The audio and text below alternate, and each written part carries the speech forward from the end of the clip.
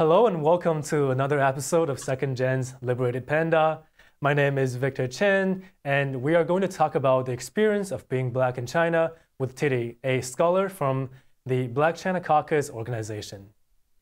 Titi is an open source intelligence analyst at the US Department of State with expertise in international affairs and political analysis. Thank you for joining us today, Titi. Thank you so much. Uh, I appreciate it, Victor.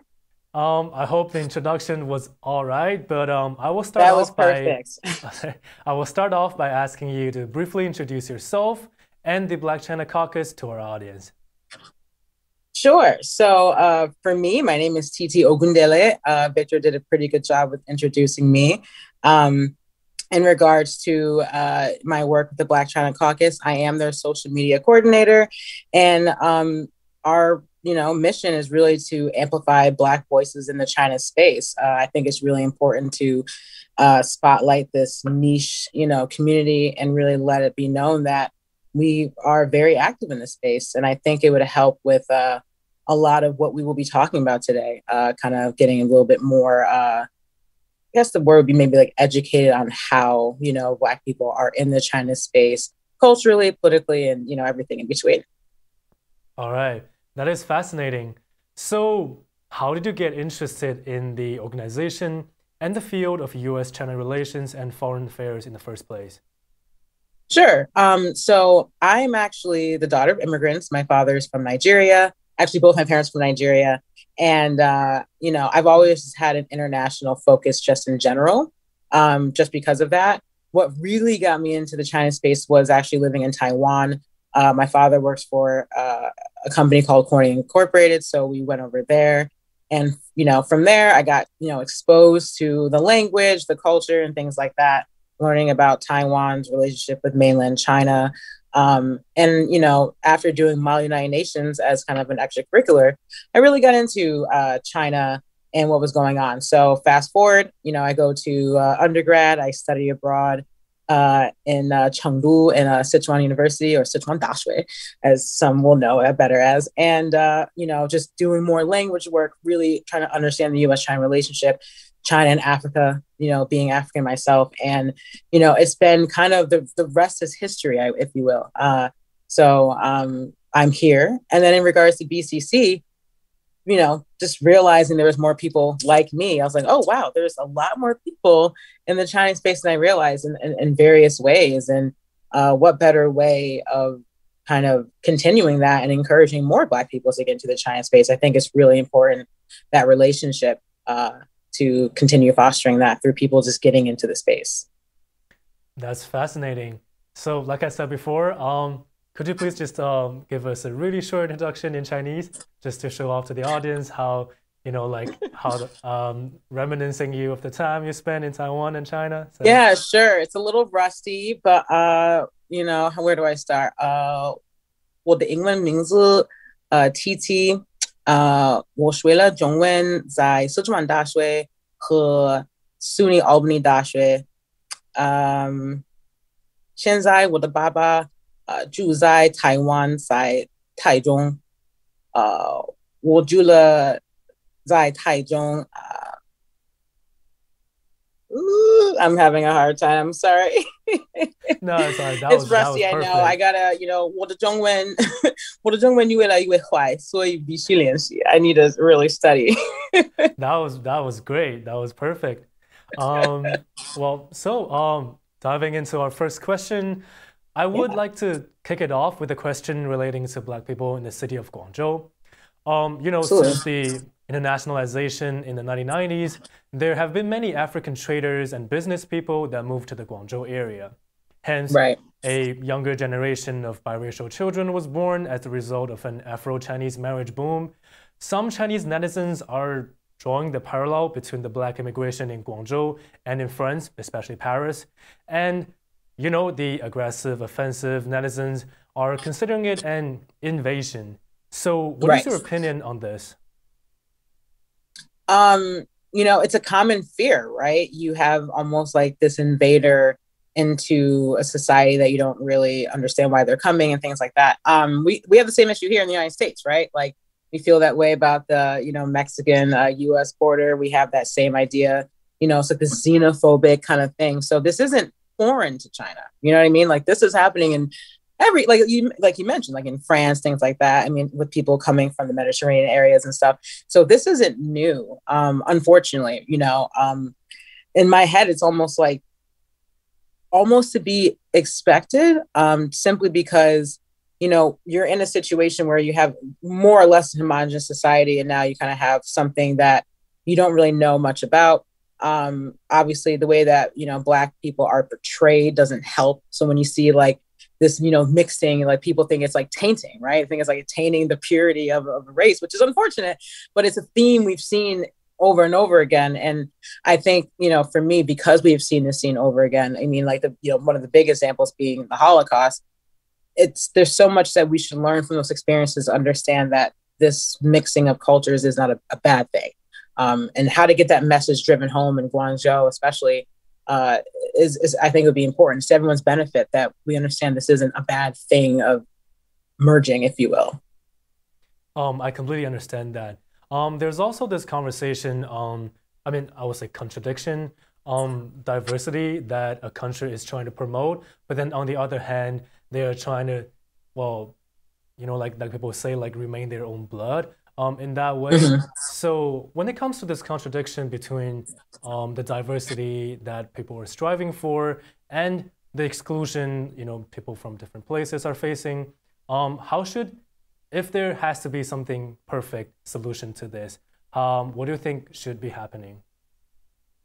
I think there should be more uh, you know, cross cultural exchanges. I mean, we do that now. You know, we have exchange programs, we have, you know, international students studying abroad, getting more exposure. I think, you know, the issue with racism, right? It's a combination of ignorance, fear, and hate, right?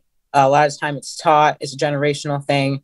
Um, you know, you, you don't just get born being racist. So I think it's it really comes down to the education and really understanding that, you know, a firsthand experience is much better than like hearsay or what you see on TV. I mean, it's it happens with with a lot of different groups. Um, you know, be, being otherized, and also what you're saying with contradictions. You know, of being more diverse, but deciding which groups you want to be diverse with. You know, it's like that's not how that works. Um, and I think it's it's really important to do more cult- uh, cross cultural exchanges with um, with groups that are kind of what's the word kind of known for being ostracized like if we're seeing there's a problem with this particular race or this particular ethnic group maybe there should be some type of program around more cross-cultural exchanges. Like i think that would be the thing because education is really what it comes down to. It's like you need a firsthand experience or of source so that you can kind of dispel what you've read heard and, and seen like not firsthand. So i don't know if that's the perfect solution. We are already doing that now but i think it's really, really important for that to happen. Um, and I think it's slowly happening, but of course, you know, as we saw with COVID and things like that, there still is a lot of otherizing, if you will. Um, so for my capstone project in college, right, I um, did this documentary film called Racism in China, where I interviewed two friends of mine. One of them's um, Jamaican, one of them's from um, South Africa, and um, basically he told me um, the, the the guy from South Africa, Bongani, he told me that when he was in China, he went to um, Huangshan, which is a famous mountain everybody goes to, and um, he knew that being black in China would be a huge thing, but then he never knew it would be um, exaggerated like that. So he was on the mountains, and people were just genuinely interested in him. They would go up to him and be like, "Oh, is your skin real? Like, like, um, can I touch it?" They wanted pictures with him, um, and then he was like you know, in the beginning, he got a kick off from it. He was like, wow, this is so interesting. I'm famous.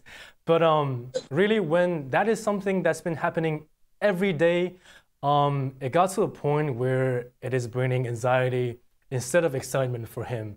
And um, moving on from there, um, although the Chinese government's announcement that addressed their zero tolerance on racism, discrimination against black people in China is aggravating.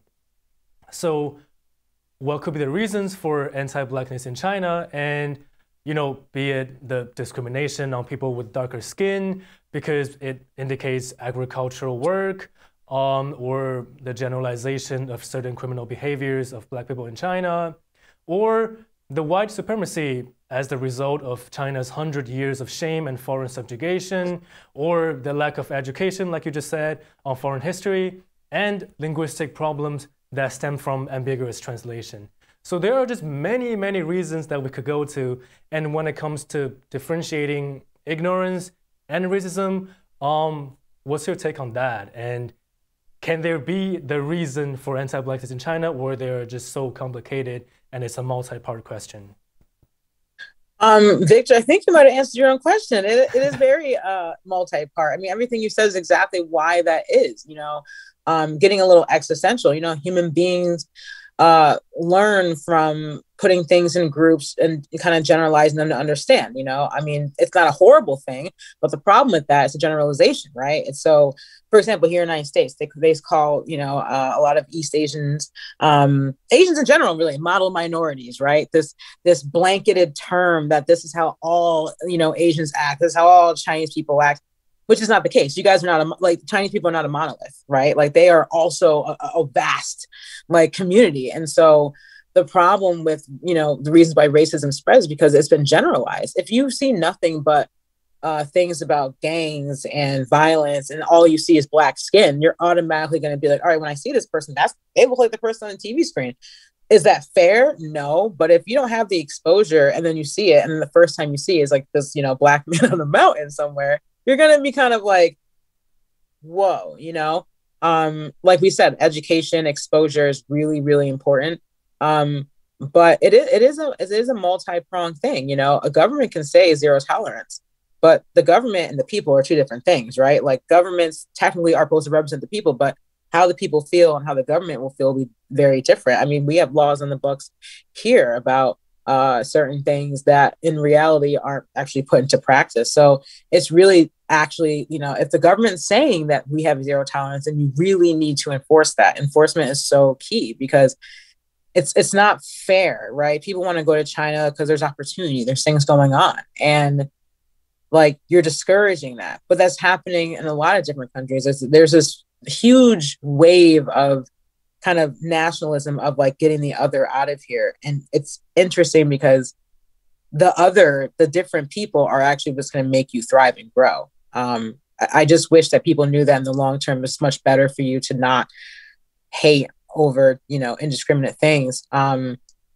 and you know, it's it's it's it's bad for everyone involved. I think to have that kind of continue. Um, you know, I actually had that experience when I lived in Taiwan in 2006 of people coming, you know, I'm probably in a lot of people's Facebook profiles. I don't even know, you know, the pictures, the touching of the skin, all these things. And it was like, you know, my dad would say, they're just curious. And I was like, yes, but whether we are from different cultures with different languages, we know that's rude behavior.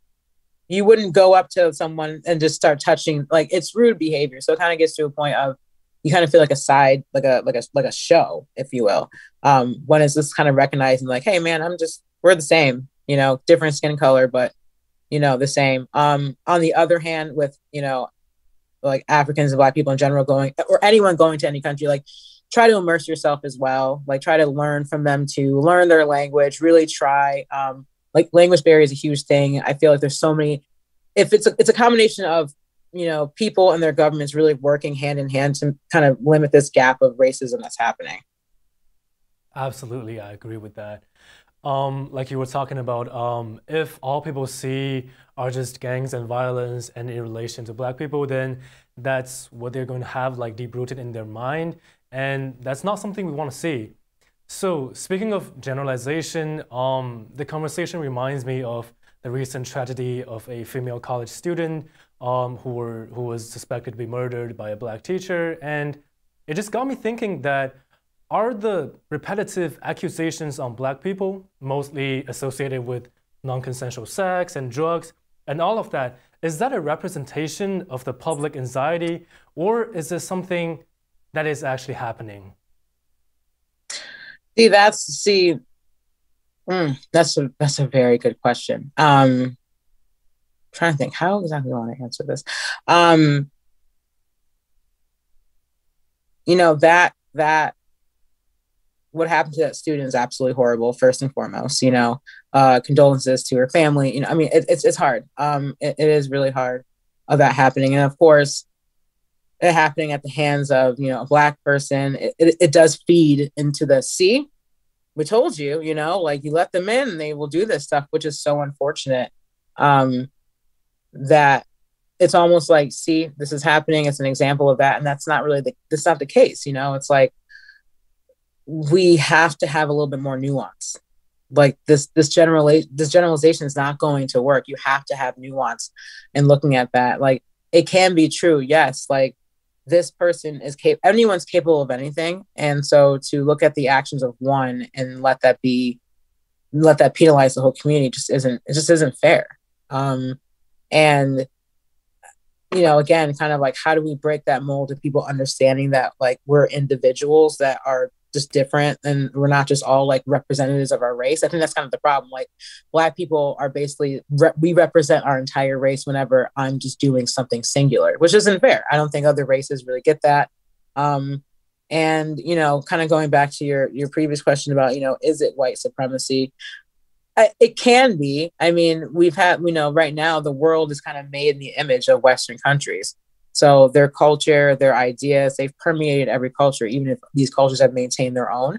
I mean, the idea of blackness being bad, you know, like you said, darker skin means agricultural. You know, you have skin bleaching products and makeup. I mean, it's it's really a thing of looking at blackness as like evil when it doesn't have to be like that. You know, there's so much history between uh, black people in China just throughout history and, the, and, and even in the United States of like working together on many things. Like this isn't something that hasn't happened. It's just how do we make more instances of that than what we are seeing you know?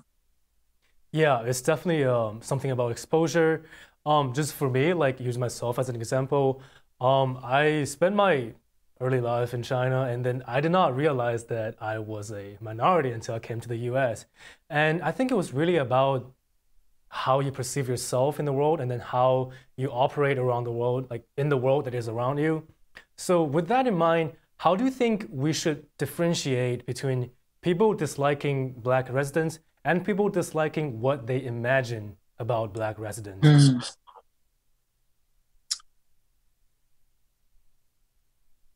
So, are, do you mean uh, kind of uh, reality versus like kind of like the idea, like the idea of black person versus the reality of black people? Yeah, I think going back, like going back to it is pretty much just um, um, the stereotypes people have already that's developed in China, and then how are we going to penetrate that um, barrier that is already there that people that filter people put on black people that are living in China that are just trading that are just minding their own business.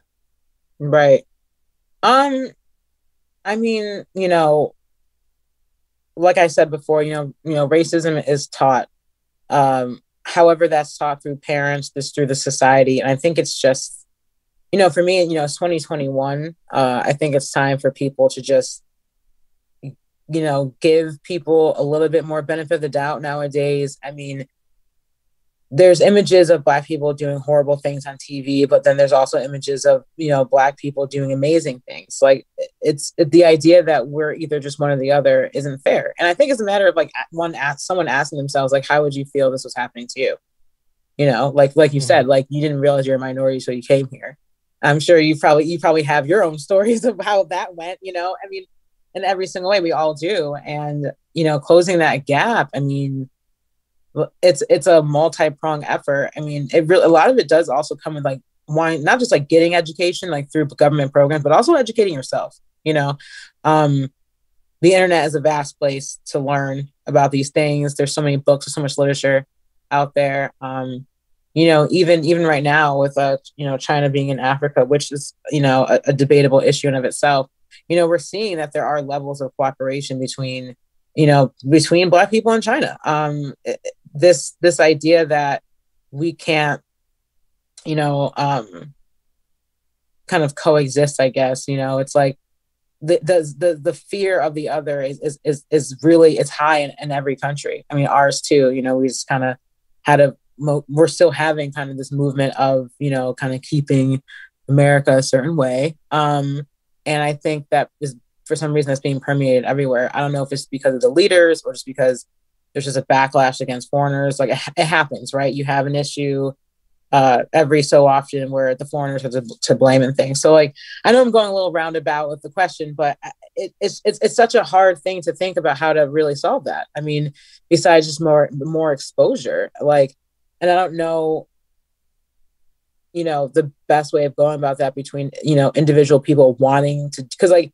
if you if you want to learn about something, you're going to do it. If you don't, then you then you won't. And so can we cure racism in China against black people? No, but we can definitely lessen it by by showing more positive images of black people. I mean, that's a huge thing. That's not sports. You know what I mean? Like we're more than sports and all this other stuff. Like we're smart people, just like everybody else. And those images need to be needs to be shown. Um, and shown at a relatively young age too. Uh, so people understand like oh okay they're achieving things just like we're achieving things. Like it's not like this horrible thing but and you know it's a part of me it's hard for me to obviously i can penalize racism but the fact that you know my experience here in the us my experience in china are very different uh, in terms of racism. I would say my experience in the us much more active racism uh, you know a little more angrier and more a little violent China was more passive, getting ignored, being avoided, things like that, or just simply just gawking, I guess. So that's the thing. My experience, obviously, I've never had these. I never felt afraid being in China or Taiwan or anywhere else. Um, but you can tell that, like, you can tell they don't like you. Some people don't like you, and things like that. So I don't know. I think it's just a lot of it is just exposure and just showing them more than what they're seeing right now because a lot of it's just it's just it's a lot of it's just like you see just like black suffering through gun violence through police brutality and we're more than we're more than our tragedies. So i think we, it should be shown more that we're more than that. Yeah um you were just talking about like um being treated differently or like having different experience in the us and then in china. So that sort of trans- transits to my next question. Um people say that racism are different like the ones in the ones in the US could be more murderous, and the ones in China, they call it um, an explicit or subtle or whatever ways they call it. Do you think right. they could be different, or are they just inherently all just racism that needs to be erased? Oh, it's all racism. I mean, it's all racism for sure. I mean, it's like, you know, avoiding someone and pretending like they don't exist is almost just as bad as berating them for existing. Um, you know, like I just said, my level of safety was was much higher in a country that I'm not even from, where the language I had to learn. Whereas like I was born here, and it's like I knew very quickly that I was, you know, not necessarily welcome. Now that's not to say that every person everywhere I went was racist to me, but I, have had moments of it could could escalate to something more. Um, you know, or I've been called the slurs and things like that. In China, not so much. Um, I think a lot of that is language barrier. Like even if, if they did say something to me, like at the time, I wouldn't have understood, right? Uh, while studying Chinese. Um, and it was a lot of avoidance. I don't know if it's because there's a fear though, too. Like they like I I have I I am not generally, but like like and like people who are racist in China probably are, are still generally afraid of black people. Racists here in the United States are not afraid of us because the racists here have a history of having power so it's a little bit different. Whereas if I'm coming into your country and I'm like this person, you're like, I'm going to pretend like you don't exist. Also, you might be a threat when that's not the case. I can be like the friendliest person and they just have this idea. Both are rooted in ignorance and fear, um, irrational ignorance and fear. Um, I would say on the on the American front, there's a lot more hate behind it. But obviously, as we saw, you know, with the evictions and things like that of Africans in China, like it can get violent. So it's, you know, I don't, I don't know. It's, it's, it's, they're all the same to me. It's like if you're treating someone like subhuman, then it doesn't really matter if it's passive or active. It's still racism. I would just say the style is just the only thing that's different. Um, but considering everything that happened during COVID, the style looks pretty pretty similar. You know, it looked very uh, on par with what's happening here. So yeah, I agree. Um, you were talking about people on the internet, and then that was something I was writing about in my um, my capstone project.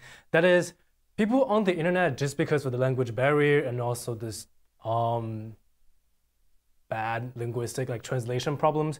Um, I found people on the internet they um, they do this really bad thing where they refer to black people um, as the Chinese translation of the racial slur. So that is mm. in the utterance of the word, although it is in Chinese, it is also the utterance of the racial slur in itself. And um, right. I just find that really ignorant and disrespectful because people come from a background where they do not understand, they do not know the history of slavery that um, people have gone through. And the utterance of the word on the internet is really just disrespectful. And, you know, with more people, um, with more black people in China, there are many of them that are just posting their daily cooking, their daily vlogs on, you know, um, basically Chinese YouTube or the websites there. And there are just people just just hating them for, for no reason. And then when right. it comes to these kind of people who generalize black people on the misbehavior of just the certain individuals and show their superiority um, um, just in a really disrespectful way. What do you think right. we could do um, on the internet? Um, should we have more people um, taking care of the comment sections, or what should right. we do?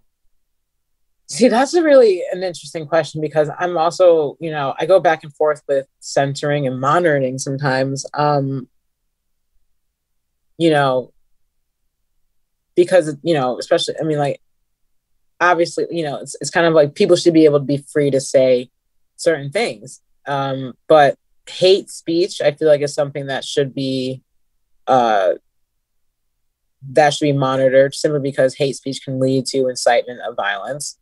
Um, and you know we have the same issue here you know uh you know people get very bold and crazy when they don't when they're when they're behind the keyboard you know um, some people say things just for shock value. Some people say things just to um, just to be seen. Some people say things to actually be violent, and it's kind of hard to tell between the two. Um, you know, as as you know, like you know, Twitter had banned uh, former President you know Trump. Um, I, while I don't agree with his politics, I found it like, oh well, that that's precedent for just being able to do that with any account. And that kind of got me worried a little bit too with just in general it's like well who governs the internet? You know like who's who who is allowed to say what's okay and what's not? I mean we obviously know like racist remarks and that are not okay. I think that should be something that's flagged some sort of algorithm that's able to flag hate speech.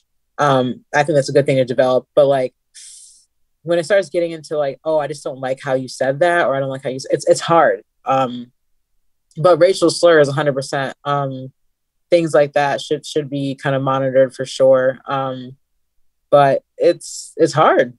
It's a hard that's a hard thing. It's like I'm basically saying if we want to start censoring things, like it's like depending on the powers that be, they can censor all sorts of stuff. Like you know, you censor someone from saying a racial slur today, and you censor someone from protesting for something that is right. You know, it's like it can be very slippery slope. So that I'm sorry that's not the best answer, but I mean it, it's it's very difficult to kind of think about how would you monitor that because I mean we have the same we have the same issue here. I mean people say a lot of crazy stuff and it's like, well, they're not threatening, so we can't really flag that, but if they say they want to do something then maybe we'll flag that. You know, it's it's like I guess just having that type of person kind of looking at it and kind of being nuanced with it. Um, but yeah, slippery slope, Victor. yeah, it's definitely a, a tricky thing because monitoring the internet and monitoring everybody that has account on internet and then have their um, freedom of speech to some extent in different places. Um, right. It's just really hard. It's, it takes a communal effort to educate people and have them understood that there are things that you just can't say, and then there are things that that you can say, but in a really polite way. You know, like things like that. And um, right, exactly. So, like we said, um, it's really just about exposure and education. So, I mean, at least for me, um, I'm having, I have hope uh, because I think I, I believe in education. Um, I yes. believe in the emancipation that education could bring. So, I'm really looking forward to um, the more internationalized China uh, in about 50 years and how the people, the younger generation by then that who are ruling the um, nation, how they are going to think about these kind of things. But um, just on our way there, on our way of cruising toward a utopian kind of society where things are just better. Um, it also take it takes the effort of the government, the citizens, and the netizens, and we just really need all of them to be working together. So you know, like the government could be posing zero racism, zero tolerance for racism, but are they actually doing it? Um, the citizens are the ones with more in-person, close contact with um, people on a day-to-day life, and what could they do in their daily language and interaction and just for the netizens basically how they generally behave on the internet so with all of those happening and then with all of those going towards i think a better place um, what are you hoping for um, the future of black scholars studying china and the traders and businessmen there um, you know, Victor, just like you, I'm very optimistic. Um, and you know, I don't know if we're too optimistic or not, but I'm optimistic because you know my, you know, my uh, being, you know, having my experience in Taiwan, uh, also living in China, you know, I, I do have hope because generally speaking, my experiences were very good. I have very good friends still talk to, you, friends I've known for now for over 15 years. Um, you know, we talk about these issues all the time. You know what I mean? Like it, it's it's about the having the conversation. The same way we have issues here in the U.S. about you know uh, the the white population uh, educating themselves, but also educating each other. You know, being an ally of helping a group, you know, achieve equality means you know looking at your own and saying, "Hey, you're a little racist. Here's how you should educate yourself." Because a lot of times, you know, it's like crying wolf. If if the if the oppressed is saying i'm being oppressed. The oppressor doesn't care. But if someone who is not being oppressed is saying hey these people are being oppressed they actually might listen to that person unfortunately right? Like um but that's important it's like you know sticking up for yourself as a black person but also having allies and things like that. And i feel like you know i have a lot of uh you know chinese friends taiwanese friends you know hong kongese friends like that uh who do that who understand that like this isn't okay. Like they and they talk to their own parents who might like act like that because a lot of it really is the older generation still educating the younger generation. But i think because of the internet and because of more exchanges you know i haven't been to uh, china it's been 10 years. So i know that you know i'm sure chengdu has changed as a city. I'm sure that there's more black scholars who have gone there and so more people have gotten exposed. Like it, it's i'm hopeful because these things are still happening. Like none of this stuff is discouraging black scholars and businessmen from still engaging with china and it's not nothing's discouraging Chinese people to also engage with us. So there's I think there's a larger group of people who are like, you know, wanting to make this work than not.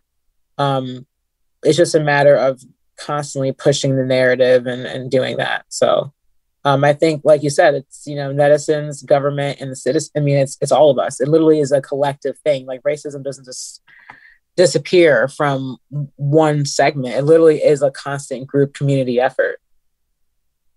Yeah, absolutely. It's um, like what we just talked about. It's a mutual understanding thing. Um, I don't have any more questions for today, but um, before we head out, is there anything you want to say or? Um, no, honestly, this was this was great. You know, I I think this is a conversation that can, needs to be had all the time. I mean, you know, what what you know what we can do together is so much more than what we can do apart. Um, you know, there's so much opportunity for growth there uh, between, you know, the Black community and China, or greater China as a whole. And I just hope that we decide to do that than to kind of regress, you know. Um, I think, you know, there's a lot of misconceptions on both sides. And, you know, I think it's time to dispel them and learn from each other, like genuinely care to learn. I think that's how we're going to get through this. And uh, yeah, I think we're going to see a much more positive trajectory. I hope. Yeah, I mean, we we all hope that, and um, I do think that um, it's great that we're being optimistic about it. Um, so thank you so much for coming in and um, having this conversation with me today, and um, it was absolutely great. Um, Thank you so much, Victor. and for our audience, hope you guys enjoyed um, this week's episode, and um, come back for us next week at the same time. Thank you.